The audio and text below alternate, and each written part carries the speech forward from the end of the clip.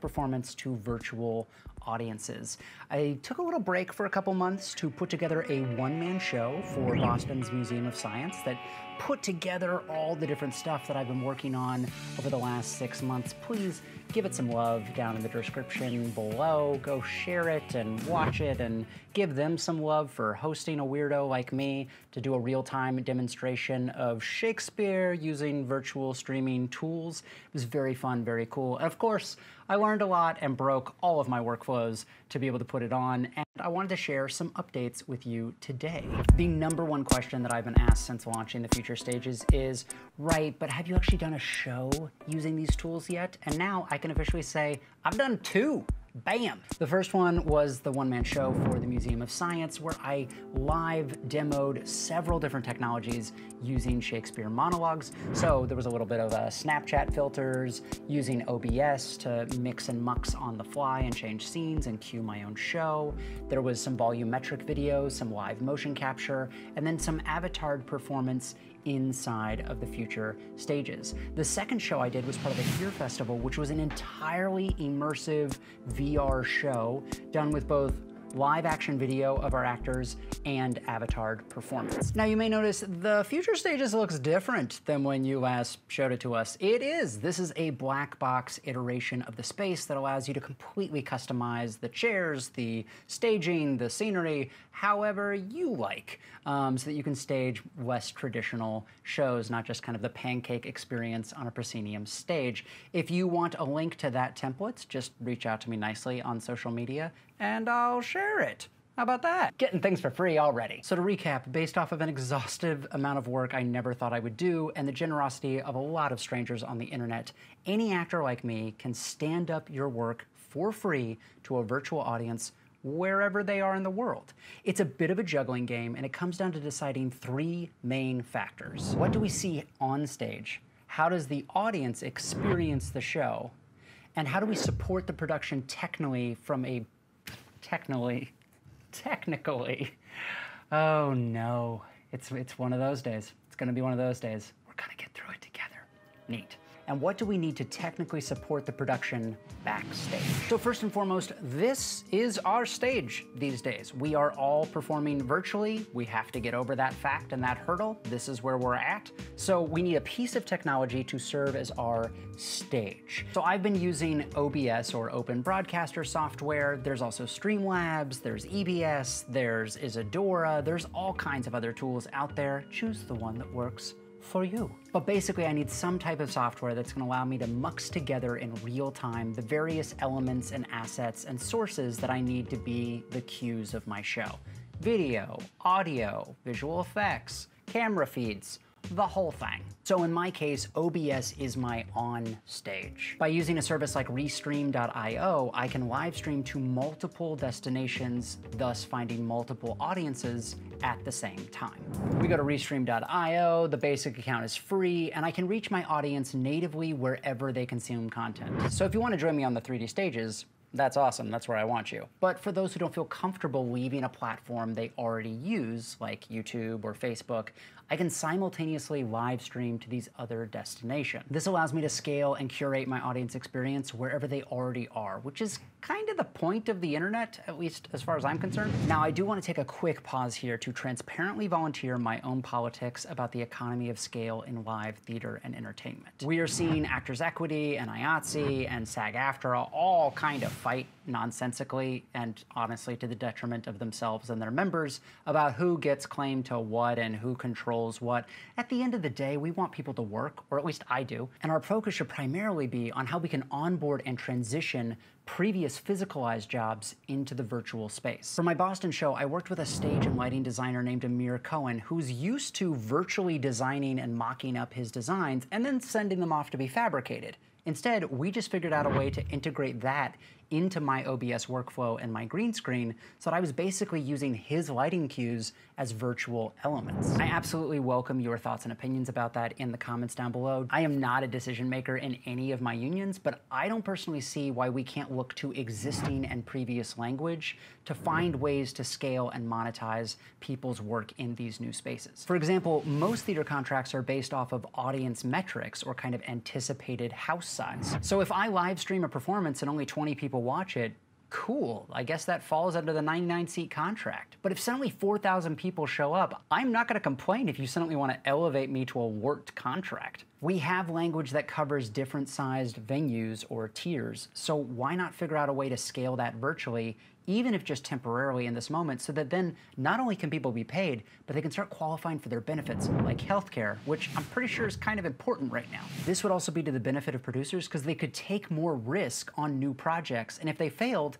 they'd only be paying for actual attendance. And if they don't want to risk paying more, cap ticket sales, and then you don't have to worry about it. But I'm sure people will respond negatively to these ideas because why get paid when you could just hate everything instead? But I just wanted to put that on the table as we move forward. Getting back to Restream.io, I've now opened up my ability to get more reliable video into Mozilla hubs because I can push the feed anywhere. I had a great exchange with Robert Long, who generously gave me some feedback about my design to help optimize the experience in the future stages. He recommended Mux.io as a reliable and compatible video streaming service, so I checked it out. It is completely free to start an account and to test five minute streams with their watermark. So I started there. And if you decide you like Mux, they'll give you a $20 credit whenever you add a payment method to your account. And then they have a variety of pricing plans from there. I've been experimenting with this for the last two months and I have not gone over my $20 freebie yet. So if it's any indication, it's a pretty cheap service cheap in the money sense, not in the quality. Anyway, yes, I'm spending some money now, but I'm getting more reliable video streaming, which ultimately is the important factor for performing live on the internet.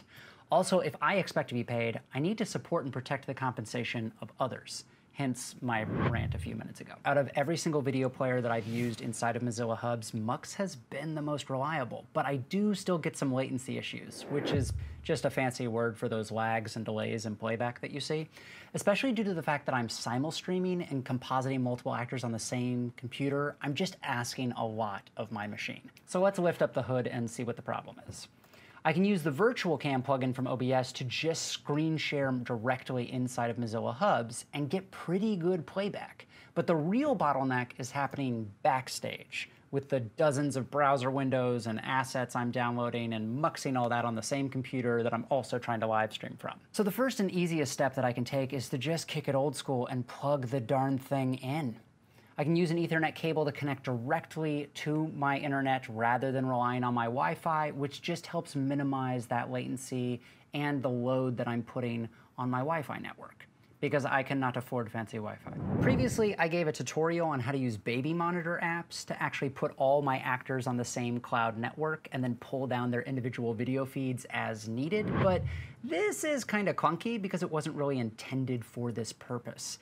I basically need my own video chat platform that allows me to interact with the individual videos.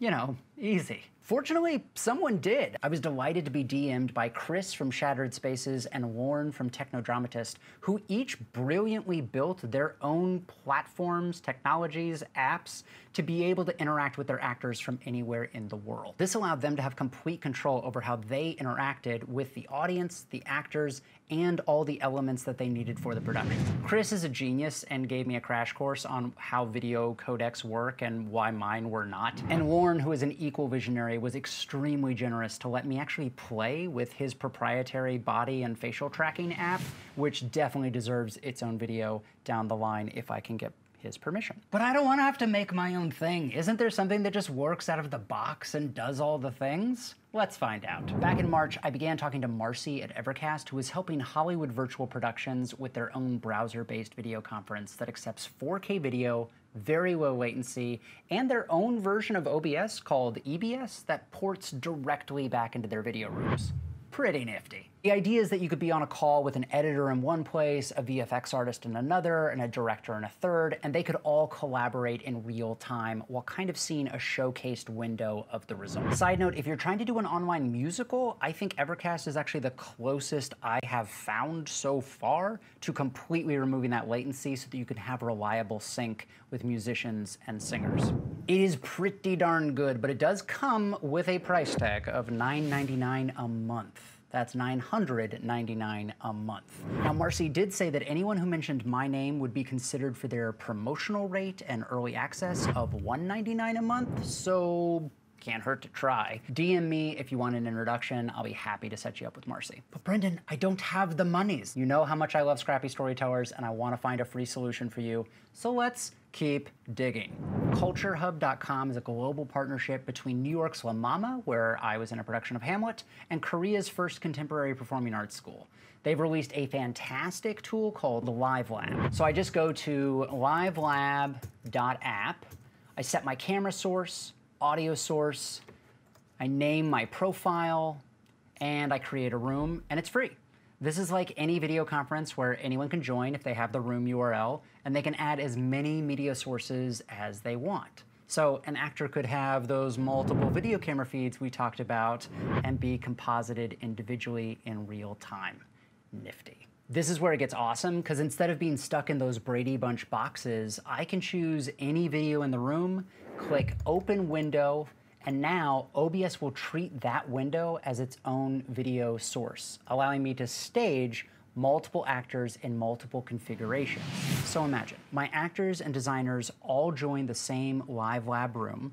I pull their video feeds as needed into OBS to composite and then stream out to restream.io to host multiple audiences on multiple platforms, including using the Mux.io or just a webcam to stream directly into Mozilla hubs.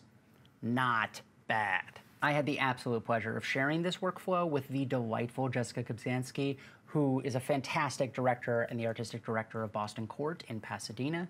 She sat in on some early workshops of my VR theater and told me about another tool called Isadora. Disclaimer, I have only poked around Isadora for about 10 hours, and the free version doesn't actually allow you to save, which is very smart on their part but it is a very robust piece of software that is originally intended for 3D projections. So imagine having the ability to pull any video source into your computer, just like you do on OBS, but having hundreds of built-in effects, animations, triggers, motion tracking, tons of goodies that I don't even know about yet.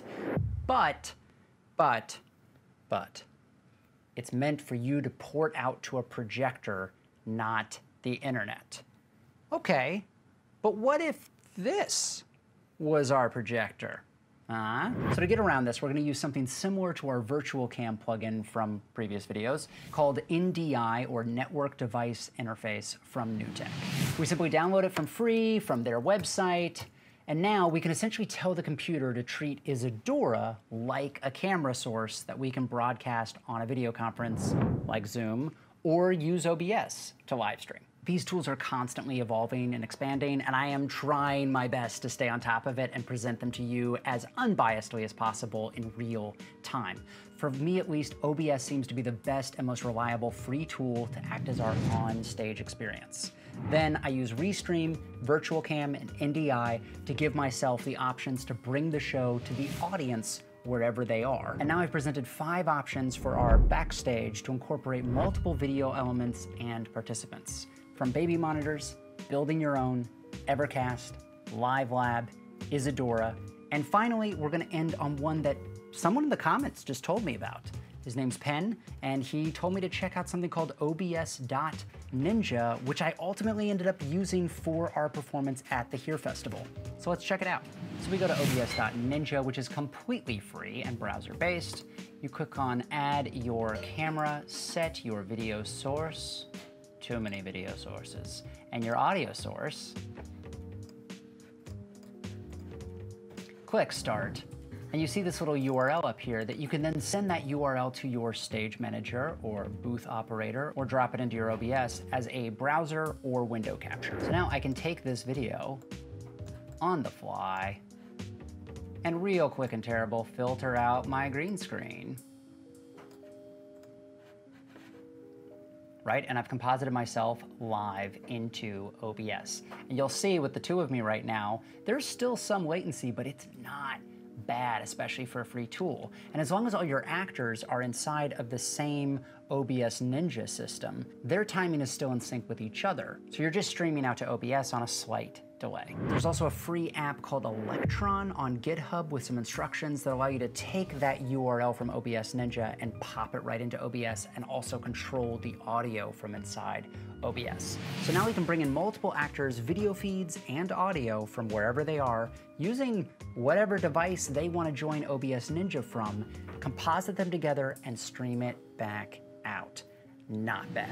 So my on stage is OBS to be able to take all the elements put them together and stream them out to an audience experience, which can be either a YouTube live stream, a Facebook, a Zoom, or in the case of future stages, letting our OBS session via virtual camera become the webcam inside of the future stages, which has no latency, which is a perfect way to present 2D actors from webcams inside of the future stages. And then finally, OBS Ninja serves as our backstage where all the actors are congregating and setting up their audio and video sources so that we can pluck and pull them in whenever we need. OBS Ninja has two major factors going for it. One, it is free, which is fantastic. But two, whenever you create that URL of your own room, that URL does not change. That is yours. So as long as you keep going back to that URL, and activating your camera similarly from a similar height and distance, you could start compositing scenes in OBS that don't change. So you don't have to rebuild and recomposite the actors every single time. You kind of set it and forget it which starts to allow you to really build reliable cues as long as everybody standardizes where and how they set up their camera and joins that URL every single time.